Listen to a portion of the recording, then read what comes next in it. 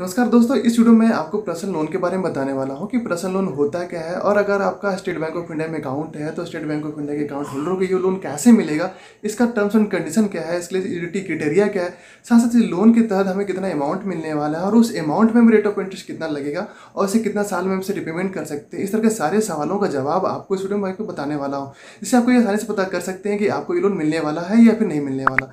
तो कंप्लीट जानकारी के लिए वीडियो को पूरा अंत तक बने रहिएगा। तो चलिए बिना किसी तरीके शुरू कर लेते हैं चलते हैं अपने कंप्यूटर स्क्रीन पे। तो पहले जान लेते हैं इसका पर्पस क्या है? पर्पस बिल्कुल यहाँ पे साफ़ है। आपको होम लोन या फिर एजुकेशन लोन के जैसा यहाँ पे कोई भी टर्म्स एंड कंडीशन लागू नहीं होता। है यहाँ पे बिल्कुल कस्टमर फ्री होता है। कोई भी सर्विस कोई भी एक्टिविटी या फिर पैसे का कहीं भी इस्तेमाल कर सकता है। इसलिए इसका रेट ऑफ़ इंटरेस्ट थोड़ा सा अदर बैंक लोन की अपेक्षा थोड़ा सा महँगा होता है। लेकिन यहाँ पर स्टेट बैंक ऑफ़ इंडिया में आपको लो रेट ऑफ़ इंटरेस्ट यहाँ पे लगने वाला है।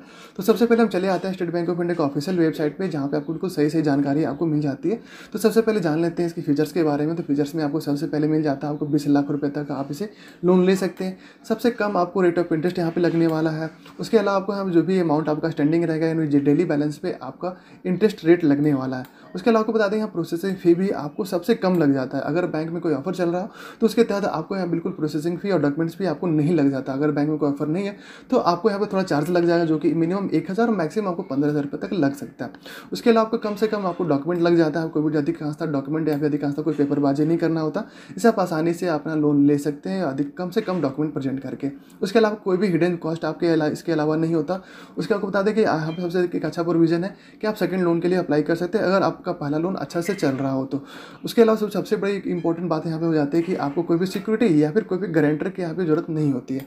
अब हम जान लेते हैं इसकी लिटरी क्राइटेरिया क्या उसके लिए हम जो ऑप्शन यहाँ पर क्लिक कर देते हैं देखते हैं सबसे पहले कि सबसे पहले आपको बता दें कि आपको अठारह साल से अधिक होना चाहिए और आपका जो सैलरी अकाउंट है, वो आपका स्टेट बैंक ऑफ़ इंडिया में आना चाहिए। यानी कि State Bank of India three है आपको आपका सैलरी मिलता हो और ये सिर्फ़ आपको इंडिविजुअल को ही मिल जाता है। उसके अलावा बता दें कि आपका जो कम से कम जो सैलरी होना चाहिए आपको पंद्रह हज़ार रुपये होना ही चाहिए। इसके अगर नीचे है तो आप इस लोन को नहीं ले सकते, इसके ऊपर आप ले सकते हैं।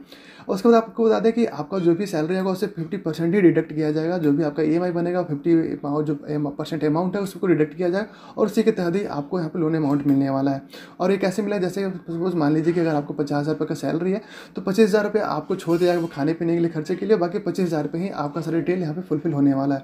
वहीं अगर हम बात करें, अगर आपको एम्प्लॉई है सेंट्रल के स्टेट के या फिर कोई ऐसी गवर्नमेंट के, या फिर आप सेंट्रल को पीएसयू के हैं या फिर प्रॉफिट मेकिंग स्टेट कोई कंपनी है तो उसके अगर आप अच्छे एम्प्लॉई हैं तो अभी आपको यहाँ पे लोन मिल जाता है। साथ आपको आपको reputed national institution education institution का आप कहीं जॉब करते हैं या फिर कोई प्रोफेसर टीचर या एम्प्लॉई है तो अभी आपको यहाँ पे लोन मिल जाता है। साथ ही बता दें कि आपको कोई सिलेक्टेड कॉर्पोरेट्स में अगर कोई जॉब करते हैं, जैसे टाटा हो गया रिलायंस हो गया तो अगर आप बैंक के साथ उनका अच्छा रिलेशन है और आपका salary State Bank of India की तरफ़ से आता है तो अभी आपको यहाँ पे लोन इजिली मिल जाता है। स्टेट बैंक ऑफ़ इंडिया में दो तरह का लोन प्रोवाइड करता है, एक हो जाता है आपका टर्म लोन दूसरा हो जाता है आपका ओवरड्राफ्ट देखिए, अगर आप टर्म लोन लेते हैं तो टर्म लोन में आपको मिनिमम पच्चीस हज़ार मिल जाता है और मैक्सिमम आपको बीस लाख रुपये मिल जाएगा.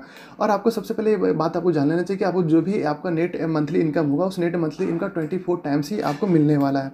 तो मैक्स जो बीस लाख है बीस लाख आपका मैक्सिमम है. आप एलिजिबल होंगे जो कि आपका नेट मंथली इनकम आएगा, उस नेट मंथली इनका जो ट्वेंटी फोर टाइम्स जो आपका अमाउंट बनेगा, उस अमाउंट को ही आपको मिलने वाला है. साथ ही बता दें, अगर आप ओवरड्राफ्ट लेना चाहते हैं तो ओवरड्राफ्ट में आपको मिनिमम पाँच लाख रुपये मिल जाता है और मैक्सिमम आपको बीस लाख ही मिल जाता है। टर्म्स एंड कंडीशन वही है कि आपको ट्वेंटी फोर टाइम्स ही आपको मिलने वाला नेट मंथली इनकम का। आप यहाँ पर दूसरा लोन ले सकते हैं अगर आपका पहला लोन डिस्बर्स हो चुका है और आप उसे अच्छे से मेंटेन कर रहे हैं तो आपको दूसरा लोन भी मिल जाता तो चलिए हम चले थे टर्म्स एंड कंडीशन में। टर्म्स एंड कंडीशन के सबसे पहले आपको बता दें कि आपको पेनल टेस्ट लग जाएगा अगर आप कोई भी ओवर अमाउंट कर लेते हैं। तो ओवर ड्यू का मतलब होता है अगर सपोज़ अगर जो ई है, वो ईएमआई अगर एक दो महीने आप डिले करें तो वही अमाउंट आपका ड्यू हो जाता है। उसी ड्यू अमाउंट पर आपको दो परसेंट आपको एक्स्ट्रा लग जाता है। पर मंथ दो परसेंट आपको एक्स्ट्रा पेनल इंटरेस्ट आपको पे करना पड़ जाएगा। साथ ही आपको बता दें कि अगर आपके पास पैसे आ जाते हैं और उस अकाउंट का फोर्स क्लोजर या फिर प्री क्लोजर करना चाहते हैं तो आपको तीन परसेंट आपको एक्स्ट्रा यहाँ पर लग जाता है और कम से कम आपको छः महीने आपको इंतज़ार करना पड़ जाएगा छः महीने के बाद आपको उस अकाउंट को क्लोज कर सकते हैं। अगर बात करें रेट ऑफ़ इंटरेस्ट की तो रेट ऑफ़ इंटरेस्ट के लिए आपका जो सिविल स्कोर है वो अच्छा होना चाहिए, सिविल स्कोर अगर आपका अच्छा रहे, तभी जाकर के लोन आपको मिलने वाला है। साथ साथ आपको बता दें कि रेट ऑफ़ इंटरेस्ट यहाँ पे अलग अलग तरह से वेरी करता है। जैसे कि अगर आपको कॉस्ट गार्ड या फिर मिलिट्री में है तो आपको इतना रेट ऑफ़ इंटरेस्ट लगने लगेगा। या फिर सैलरी अकाउंट आपका स्टेट बैंक ऑफ़ इंडिया में आता है तो उसके लिए आपको अलग अलग तरह से लोन लगने वाला है। आप देख पा रहे हैं आपको seven point two percent M C पर लग जाएगा। इस तरह से वो टाइम टू टाइम वेरी कर जाता है कि आपका जो सैलरी अकाउंट है और किस टाइप का अकाउंट आपका जो सैलरी अकाउंट हो किस टाइप का है, उस हिसाब से आपको रेट ऑफ़ इंटरेस्ट लगने वाला है। मैं यानी कह दें तो मैक्सिमम आपको यहाँ पर नाइन परसेंट से लेकर के ट्वेल्व परसेंट तक आपको यहाँ पे रेट ऑफ़ इंटरेस्ट लगने वाला और ये भी आपका अगर अच्छा रहता है सिविल स्कोर तो भी आपका यहाँ पे वेरी कर जाता है। तो इस प्रकार से आप घर बैठे आसानी से जान सकते हैं कि आपका जो सैलरी या अकाउंट जो है, उस अकाउंट के तहत आपको पर्सनल लोन कितना मिलने वाला है और उस अमाउंट को आप कितने साल में रिपेमेंट करते हैं तो आपको कितना पेनल्टी लगेगा।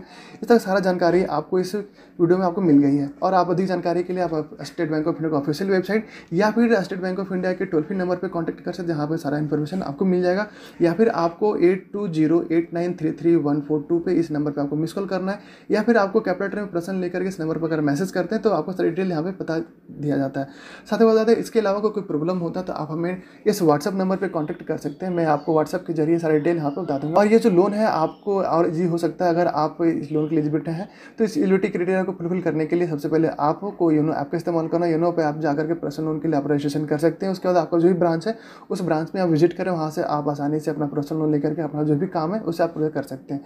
अगर इस बीच में कोई प्रॉब्लम होता है तो आप हमें, जैसे मैंने को पहले बताया कि आप आप इस नंबर व्हाट्सअप कर सकते हैं। मैं आपको कंप्लीट जानकारी और प्रोसेस बताने वाला हूँ और अभी आपको मैं हेल्प करूँगा। तो जानकारी कैसे लगी कमेंट्स करके बताइए। कोई प्रॉब्लम होता है, तभी आप हमें कमेंट कर सकते हैं।